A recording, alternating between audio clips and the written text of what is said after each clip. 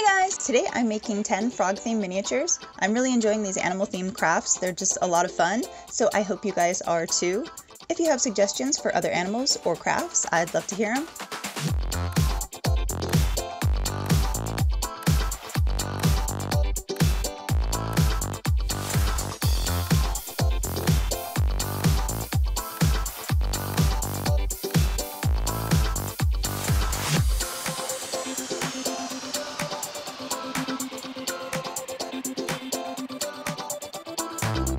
And if you make this craft, please do tag me on Instagram. I'd love to see it.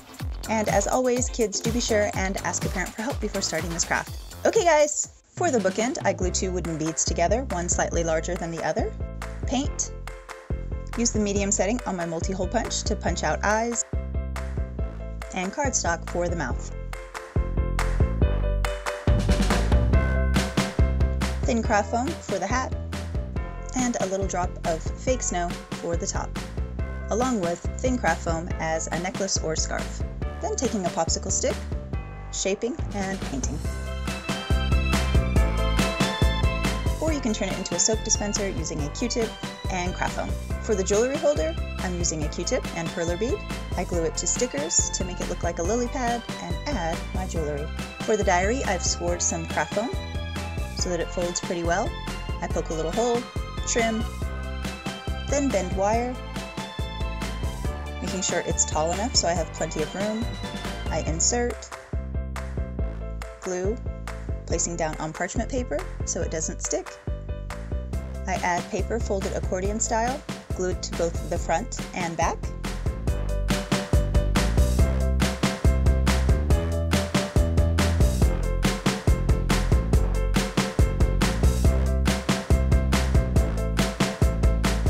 Then glue a tiny little heart to a section of a paper clip as my lock.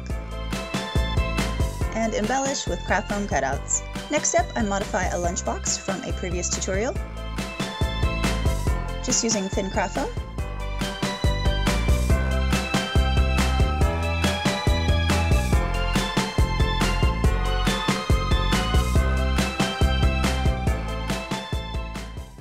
And I can make a pillow using fabric I found at Walmart. And for the furry headband, folding over a pipe cleaner. Then using my multi-hole punch to cut out pieces of craft foam, which I can glue to pom-poms for the eyes.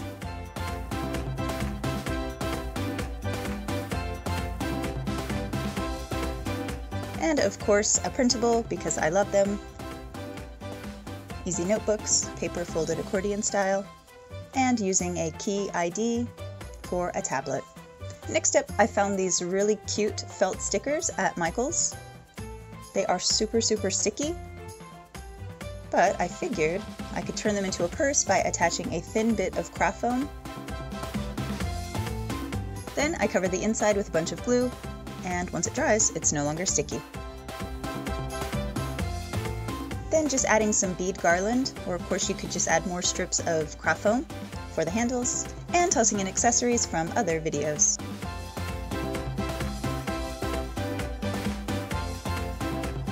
A place in my room.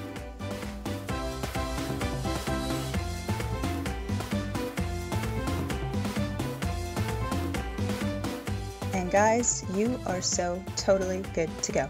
Well guys, I sure hope you enjoyed the video. Thanks guys!